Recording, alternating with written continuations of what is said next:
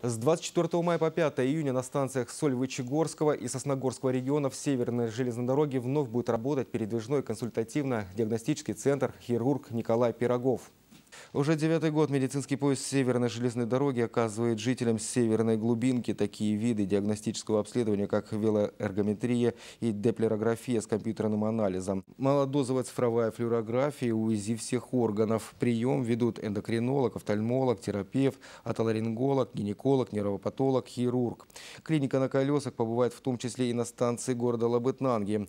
Как сообщает пресс-служба Северной железной дороги, мобильный телемедицинский комплекс со спутниковой видеоконференцией конференц-связью, которым оснащен поезд, позволяет врачам при необходимости проводить консилиумы с ведущими российскими специалистами. Ежегодно медицинский поезд совершает около 10-11 рабочих рейсов, принимая в своих специализированных кабинетах не только железнодорожников, членов их семей, пенсионеров железнодорожного транспорта, но и простых горожан.